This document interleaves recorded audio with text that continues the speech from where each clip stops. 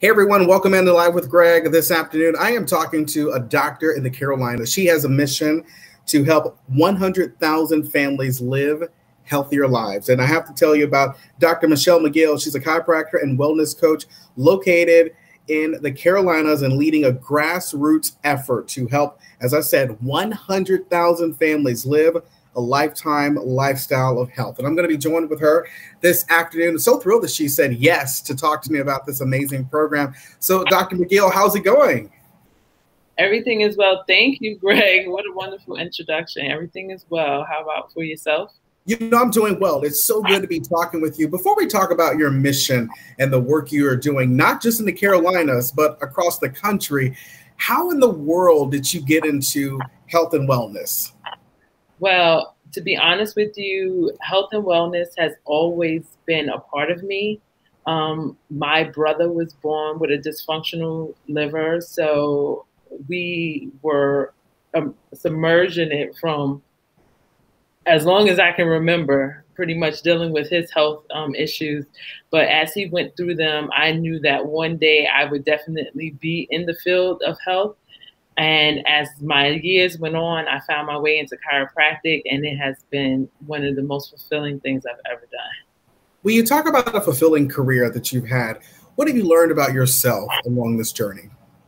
I've learned, and this is also something that one of my mentors that to whom much is giving, much is required. So my mentor, Mrs. Alice Carson Tisdale, the former for, um, First Lady of Claflin, um, God rest her soul, um, she instilled that into us. And I've learned that when you put your time and talents and treasures into giving to people, you find that you have more than enough for yourself. So that is I, so true. Yeah. You know, Dr. McGill, you are on a mission to get over 100,000 families healthier.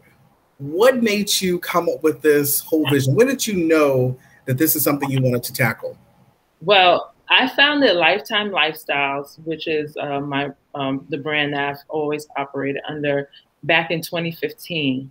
But when we came into COVID times, I knew that it was time for me to double down on my efforts because I just was disheartened by the fact that our communities suffered disproportionately for various reasons, but a lot of it comes down to those pre-existing conditions, those chronic diseases, and a lot of it is within our hands to control, and we don't have to express it in such um, form. So I knew that it was time that we would have to really, really, really put energy into helping ourselves because no one's going to help us. If we've seen that. When you talk about lifetime lifestyles, for people watching, what does that really mean and how does it work? So, lifetime lifestyles um, is basically a bridge. It creates a gap between the information we need to know and the practical actions that we need to take in our lives to be able to create the changes needed to be able to really reach our health and wellness goals. So, health is truly a balance between mind, body, and spirit. Um, and it's not just about, well, if I just do a few things and I'll be okay. We have to do a, a, a lot of different things and be able to know that, okay, um, it may not come overnight, but I'm still progressing and being able to still encourage them. So um, I work from young um, children all the way up to geriatrics. So I truly have always been in the family practices. And I just want them to know that we can have we can be have so much vitality even in our 90s and 100s. That that is that is the grandma I want to be. Tell me about it. Look, I want to live up to like almost 100 years old, if not over 100, exactly. and still be in my right mind, living exactly. my best life. Exactly, living your best life, and that is our motto: live your best life. You know, a lot of people, when they're trying to get healthy or get in shape, they start, they stop. We've all been guilty of it. COVID 19, you know, a lot of people have gained the COVID 10, 15, 20 pound. You know, we, we've all been there. We, we're dealing with it now. But for you, as we all know, and studies show 21 days truly makes a habit when it comes to fitness and health. What are you going to do? What do you? What do you want? How do you want to use this program to get people to create not only new habits for themselves, before the family as a as a whole. Right. So um, as the lifetime lifestyles is also um, is a 90 day program, but Rising 3 is our 21 day program because, as you mentioned, it takes 21 days to build a new habit. And over those 21 days, we focus on detox, nutrition, and exercise. And we also link that with mind, body, and spirit, as I had mentioned before, to help to find a way to bridge that gap and to create practical um, exercises within our daily routines to be able to build that habit. And I'm really happy to say that with Rising 3, um, is really geared towards our Christian communities um, and is done in collaboration with uh, the pastors and their first ladies um, to be able to help their um, congregations to be able to have that vitality to be the kingdom builders that they're looking for them to be. Because studies show that most people don't do things not because they don't want to but because they're just too tired mm-hmm. or overwhelmed or too stressed. So um, these are tools to be able to overcome that and to actually move forward through that and be able to like i said bridge that gap so that you can get to where you want to be. You know you're bringing the christian faith into this the Rising 3 I can tell that you are a woman of faith. And yeah. for people out there who are in their faith background, why was it so important for you to not only encourage families, but more importantly, to get the church as a whole to start thinking about being healthier? Well, our churches are the cornerstones of our communities. And I find that when people feel good, they do good. And when people are doing good, our communities will thrive better. Um, so as far as getting the churches involved, I knew that it was no brainer because they are the cornerstones of our community. And it just was something that God put on my heart that this is the way that I need you to walk. And a lot of times as physicians, we think that we can't, we have to compartmentalize our lives, that we cannot be uh, the Christians that we're called to be because we're scientists but if you really look at the book and you look at the words that are there in the Bible, you will find that it's the same roadmap in Leviticus of the foods that we mm-hmm. should eat and the things that we should not be doing to take care of ourselves. So it's like, okay, well, we already had that guide. We have science to prove that guide. Why not bring them together and allow um, them to coexist together so that there's not this dilemma of what should I be doing?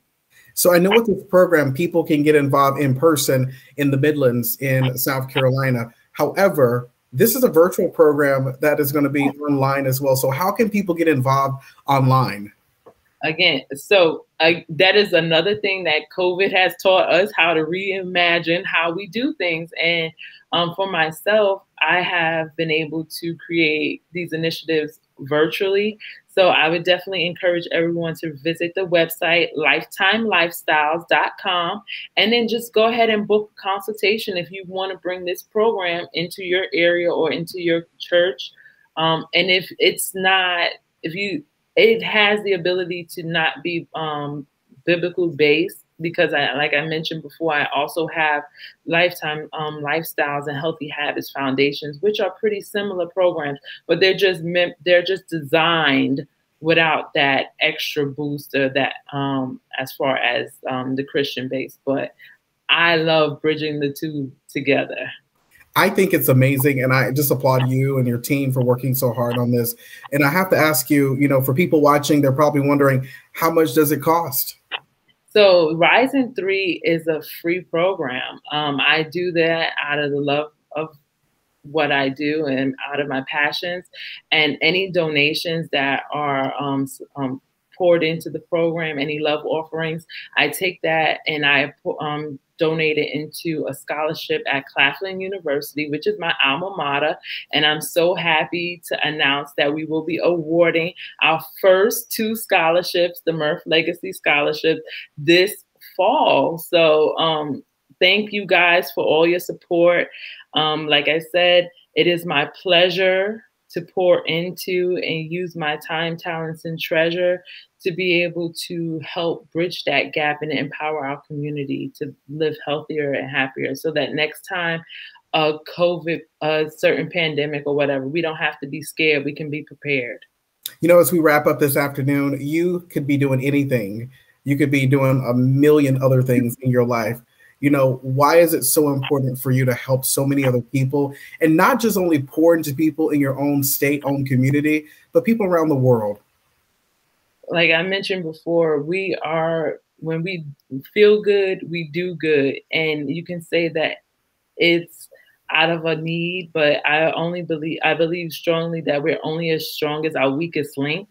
And if we're not together and, like I said, if anything COVID has shown us is that we're more connected than disconnected. And because we're so connected, we need to make sure that our communities are thriving and surviving. So um, I I do it because this is it is it is the right thing to do.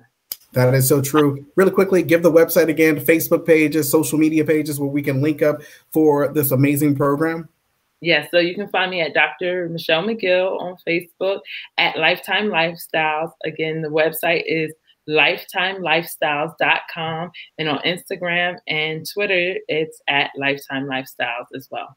Sounds good. Dr. McGill, thank you so much for joining me thank this afternoon. so much, Greg. Thank you.